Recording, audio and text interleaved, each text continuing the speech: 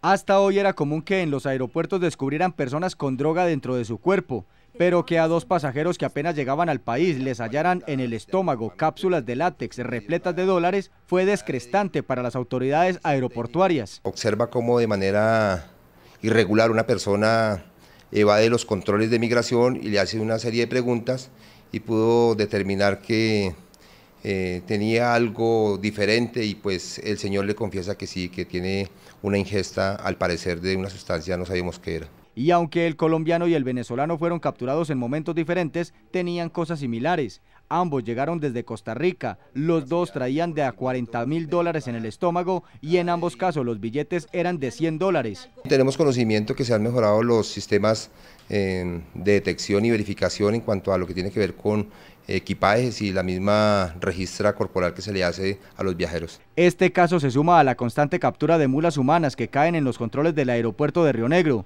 Los dos capturados quedaron a disposición de la Fiscalía para que respondan por el presunto delito de lavado de activos.